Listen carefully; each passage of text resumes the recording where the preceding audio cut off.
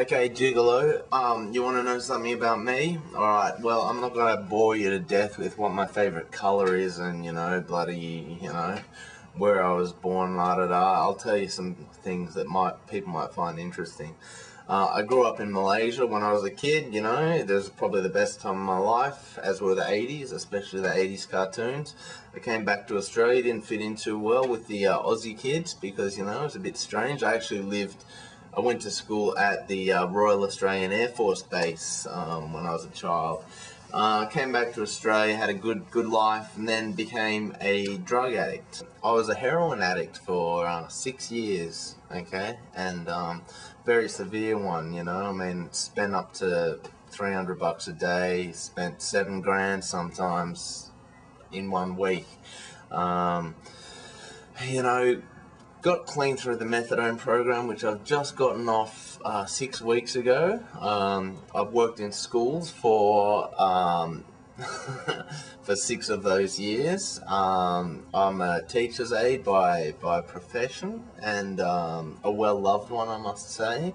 I actually got suspended from the Department of Education temporarily for posting a picture of a teacher online with her cleavage exposed. 12 months later, I've been reinstated.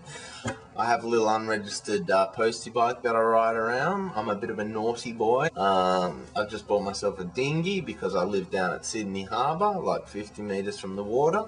Um, I'm currently at war with my neighbour over a tree that obstructs my view. Um, I, I spend a lot of time on YouTube, maybe too much time. I'm, I'm a big fan of the internet too, so um, I'm running out of things to say.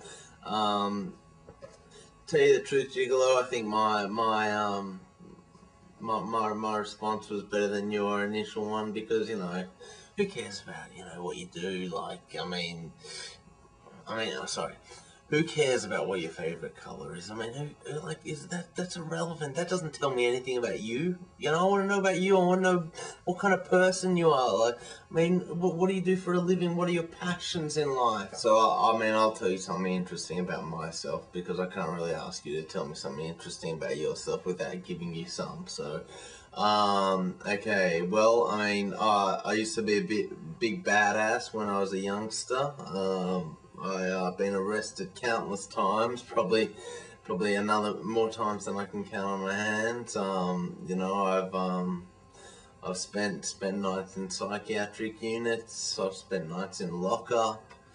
Um, you know, I've um, but but still, regardless, I mean, I, am a bit of an enigma because you know, although I've done all these terrible things, you know, I've worked in over thirty schools in in in, in New South Wales, and um, and and I think I do a damn good job to tell you the truth because I mean you know I can give these kids some advice on what not to do in their lives, um, but um, you know I um,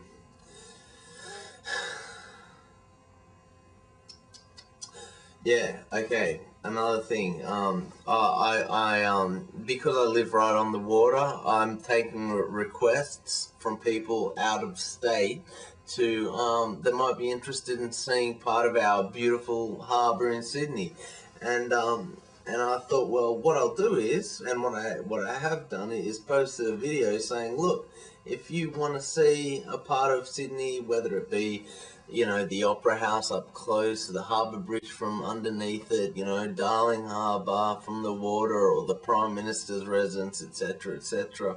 You know, you can Google Earth it if you don't know the area, which you wouldn't if you, you know, you live in bloody Alaska or something. But, um, yeah, so so you know, if, if you want to do that, let me know, and I'll um and I'll make it happen. I'll I'll motor out there and and, and, and check it out for you on my little dinghy. Um,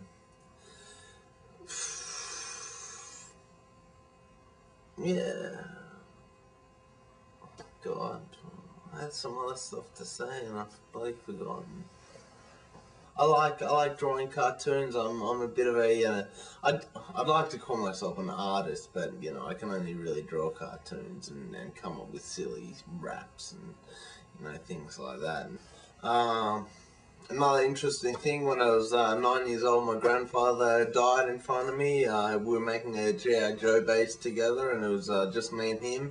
and uh, I had a heart attack, and um, and and it was just me and him. I had to I had to run next door, grab grab the neighbors, get to call an ambulance, and uh, he died later that night. So um, you know, you may think that that had a traumatic experience uh, or a traumatic effect on me, but I mean, you know, kids bounce back quite easily, which is another reason why I like, you know, hanging out with kids and working in schools. They um, they don't they don't, they don't have the, you know the, the, issues that, that we have, you know, as as adults. Um, you know, if if I had it my way, I'd like to be a kid for the rest of my life. You know, I mean, I, that's that's that that would be my ideal thing. But I mean, I'm sure that's situation with many people. Now I'm ranting and raving, so I'm gonna put a stop to this. But um, you know, that's uh, a few interesting points from my life, and um, yeah, okay, all right. You, you you guys have a good day though, um, and um. And other people, regardless of Gigolo, please get back to me. I'd love to hear from you. I mean, uh, uh, it, it, would be good to meet some new people from around the world. So, you know, apart from just the UK and US, which are, seems to be the only people that, that are on the internet, you know, the, at the moment, you know.